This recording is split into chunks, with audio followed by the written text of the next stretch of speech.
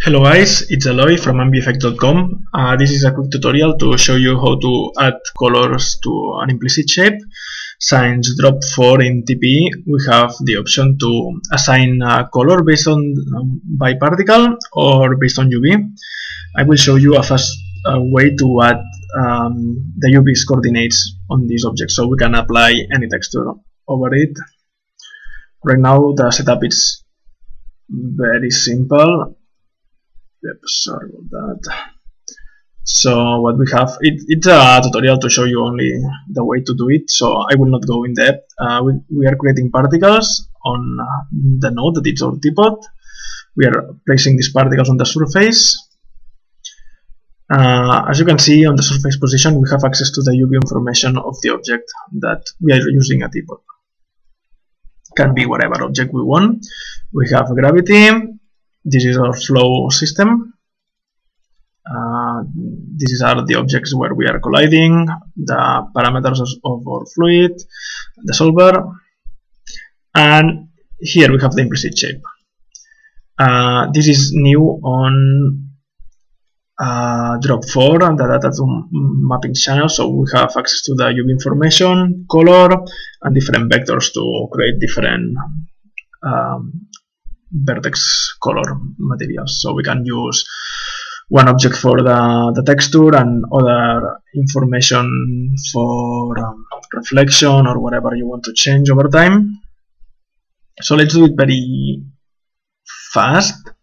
If we apply a material here you will see that um, we will not have this. So I will create a, a material, a bitmap material. I have this texture drag and drop to the material instance.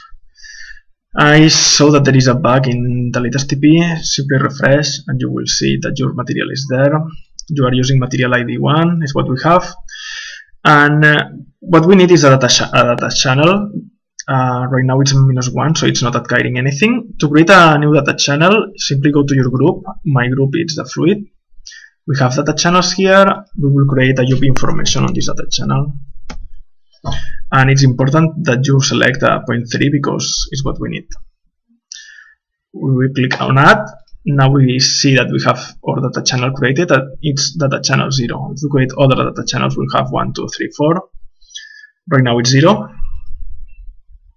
uh, we could we need to fit data to our particles.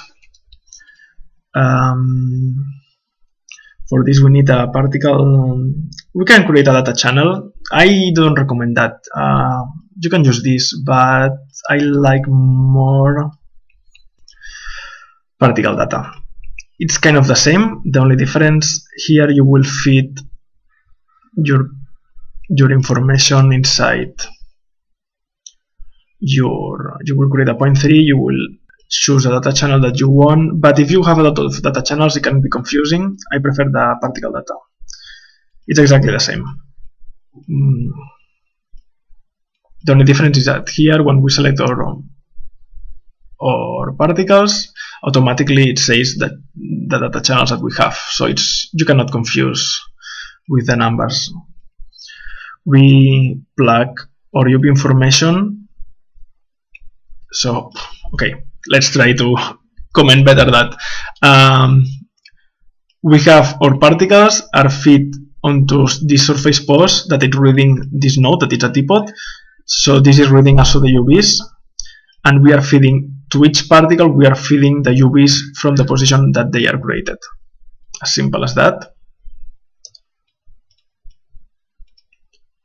And the only thing that we need to do now is to say okay our UVs are coming from data channel 0 and we'll go to mapping ID 1 all this done map map channel 1 if we select to show our material this should work.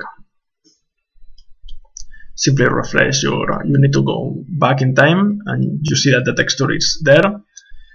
You can change the tiling or the offset and you see the, how it's applied. Uh, this can be very useful to well whatever mappings or whatever you want. And you see that it's stick to the to the object.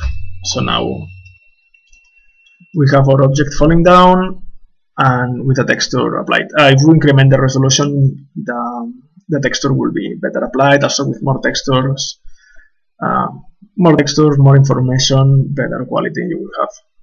Uh, but well I am doing this on the fly. It's not cache as you can see it's pretty fast and my computer is a pretty low. Res one.